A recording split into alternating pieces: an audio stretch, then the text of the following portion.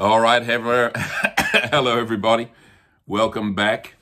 Uh, I've changed my shirt, uh, not to be uh, an impressive dresser, but really to uh, to help you to identify. You know, when you get all these video clips and, and they all look the same because the backdrop's the same. So I'm going to have a different shirt. So the red shirt here is part two, all right, and we're going to go into uh, all about our identity, the real identity of the Christian, part two. And uh, we closed off on the new creation, and I want to pick up from there. And uh, there's a couple of, um, there's a pretty big slab of scripture I've put in from Colossians chapter 3 um, that I think will help us understand this. This is this this part we're talking about now is really central to actually living out the Christian life the way God intended. Cup of coffee. It was water the first time, but it's coffee this time. All right, so therefore, if anyone's in Christ, he's a new creation, or she is a new creation, or a new creature, or a new species of being. The old has passed away, that's past tense. The old has passed, and the new has come. So that old nature we're going to find in Scripture is dead. It identified with Jesus when he died, that nature died. Water baptism has significance in that way, in that it is identifying or confirming visually and experientially for us what is the core of the Christian life, which is why it is one of the two sacraments in the Christian church, the way we would approach it. It is because we're identifying with the fact that Jesus died and we died with him and in him. When he died, we died. And when he was raised from the dead, we rise from the water, affirming that we are a new creation. And that thinking is central to us walking in our identity. So the old nature is dead. It is therefore not something we have to kill. When Jesus died, it died with him. So the approach that we have to kill off an old nature isn't the right approach. It's not a biblical approach. It, it, it goes back to us trying to do in our own sincere efforts what God already did in Christ.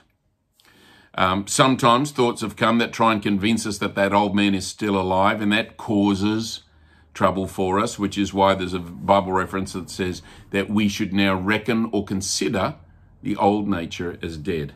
Now let's have a look at Colossians 3 it's uh, there's a passage here, quite a passage, and um, I'm reading the NIV New UK version. You've got the notes, these verses in your notes here. It says, "Since then, you have been raised with Christ." So that's stating it as a fact, not you will be one day. This is not talking about when you, the final day of judgment, the return of the Lord, the the the um, going on to heaven um, it is talking about right now, and it says, You have been raised with Christ. And then, since that is true, he then says, Set your hearts on things above, where Christ is, seated at the right hand of God. So you can set your heart on something. You can attach your heart. You can focus your heart like you focus a camera. You can focus your heart. What are you to focus on? Heavenly things. The old phrase, you've probably heard it, you know, the person is of so heavenly minded, they're of no earthly good. Um, I know what people are talking about when they say that because um, they're generally talking about nutty uh, kind of Christian people that that uh, don't live in the real world. They don't make sense. No need to live like that. But actually, that's not really true. It's not. It's not really possible to be so heavenly minded that you're of no earthly value. In fact, the more heavenly minded you are, the more of earthly value you will be because you will uh, walk in a way where you're bringing heaven's realities into earth's experience. So set your hearts on things above, where Christ is seated at the right hand of God. Now then, set your mind on things above. Now, your mind and your heart, or your soul and your spirit, are very close together.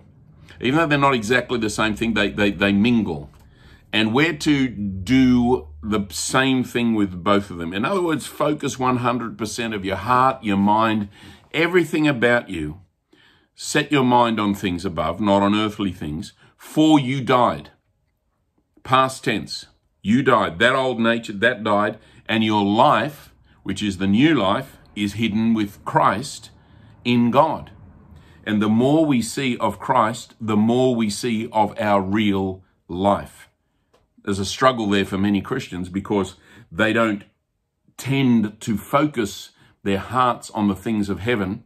They're not so conscious of Jesus every day of their lives, but that is where their life is. So then they, they wander around and they live sometimes more or less like the rest of the world with their, with their eyes of their heart fixed on worldly things. And not a wonder they lose their sense of identity because their identity is no longer there. It's now in Christ. So you died, your life is hidden with Christ in God, and when Christ, who is your life, appears, then you will also appear with him in glory.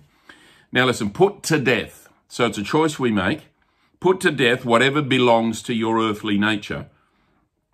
And here's the things that belong to your earthly nature or fleshly nature. Sexual immorality. See, so many people will think, well, sexual immorality is, is, is, that's the devil. You know, the devil made me do it. Um, that's, that's demonic influence. It's true that there is a demonic influence, but we uh, live still in the flesh. And so we have a responsibility not to walk according to that flesh, even though we live in it. But that is not disagreeing with the fact that our old nature is dead. Our old nature has passed.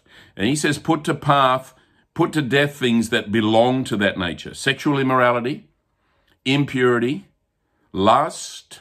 Lust is not, lust is not sexual per se. Lust is, I want to have it now. Lust is, I want to eat it now. I want to go now. I'm going to lose my temper now. It is impetuous, demanding uh, in, in the instant moment. And it says, so that's also work of the flesh. Evil desires, greed, which is idolatry, when you want stuff for yourself. Because of these things, the wrath is going, uh, wrath of God is coming. You used to walk in these ways in the life you once lived, but now you must rid yourselves of all such things as these. Anger, rid yourself of it. It's not part of your nature, but rid yourself of the habit of. Those two things go hand in hand. In other words, because you get angry, um, those emotions, those things, whilst you're in the flesh, are going to come, but that is not your real nature. That's the thing to understand. So put it off. Rid yourself of these things anger, rage, malice, getting somebody back, slander, criticizing people. It's in the same bag. Filthy language from your lips.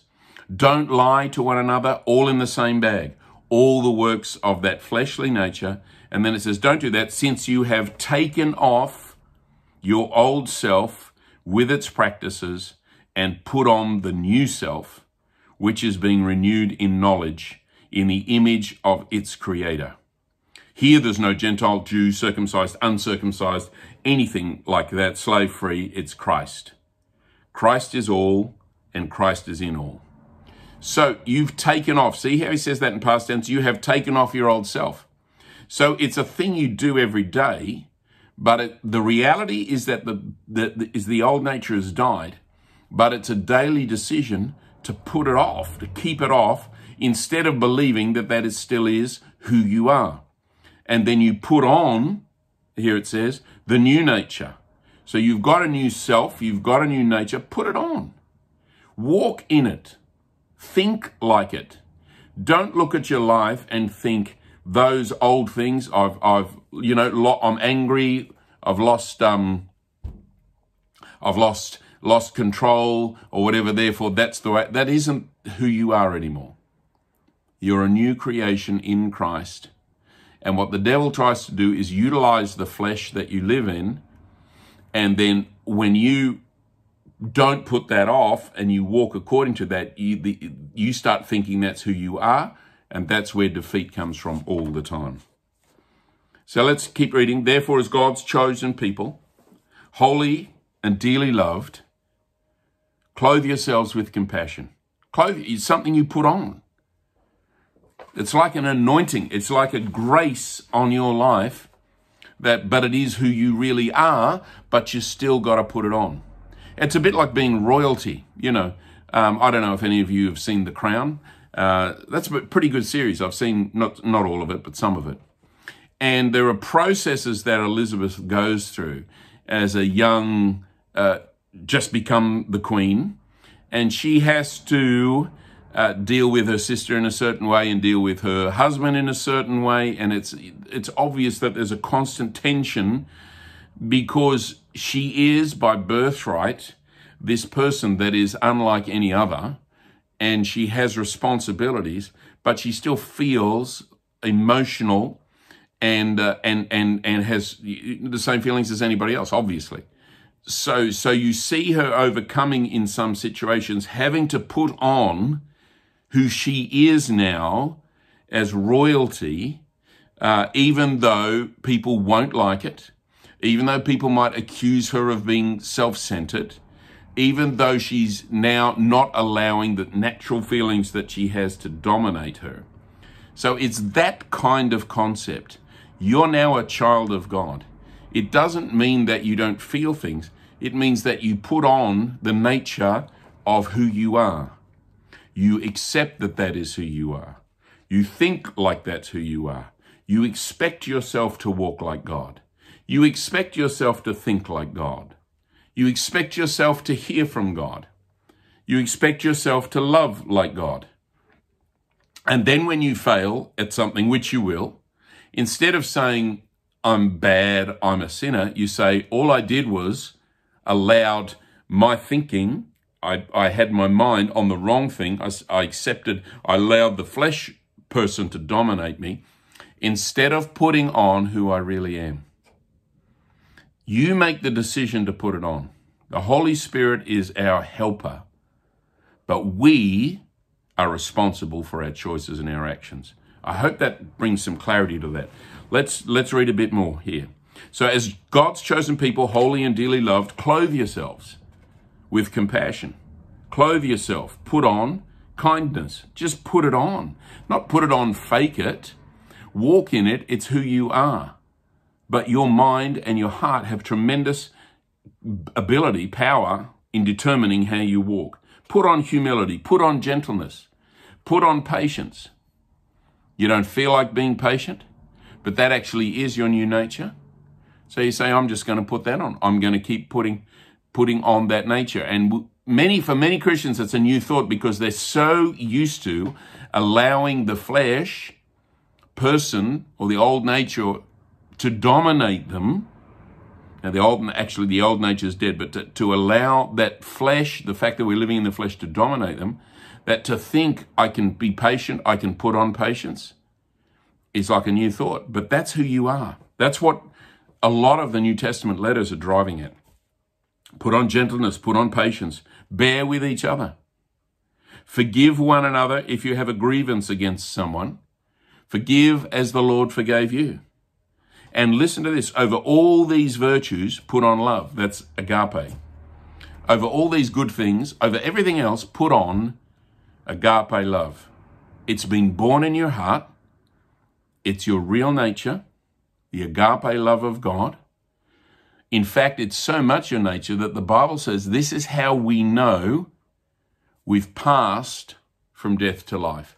We've transitioned from the old, from, from death, spiritual death, disconnected with God, to spiritual life connected with God. This is how we know. Because we love. Because we agape our brothers and sisters. That's, see, that's the acid test. And it's not the acid test in the sense that, oh my God, I, I, I really don't feel like I, I love people very much. Um, maybe I'm not a Christian. That's not what he's saying. What he's saying is that once you're born of God, you have that nature, but you have to learn to put on that nature, and you can do that. And you can walk in agape love like you wouldn't believe by changing how you think. Now, in this closing few, few thoughts here, I want to touch on this the power, I've called it the power of setting your mind because you're going to see when we're talking about now walking in our real identity, you're going to see the enormous power. And there are lots of verses. I haven't got time for them all, but enough, enough. Proverbs, as you know, says, As a man thinks in his heart, so he is. We become what we focus our minds on. It's powerful. But listen to listen to a couple of New Testament passages, would you? You, you all right with this? We're kind of going through the scripture a bit, but I hope it's helping you. Romans 8, 5 to 9. Those who live in the flesh, according to the flesh. Now he's writing to Christians, but he says, now some Christians live according to the flesh, the fleshly nature, not the old nature that's died, the flesh that we walk in. The, the Greek word there is sarx. It's, it's, it literally means meat. You're living, you know, we live in the meat. you're, you're, you're a piece of meat. I'm a piece of meat. And whilst ever we're on this planet, we live in the meat. And that meat has a certain influence, a certain pull on us.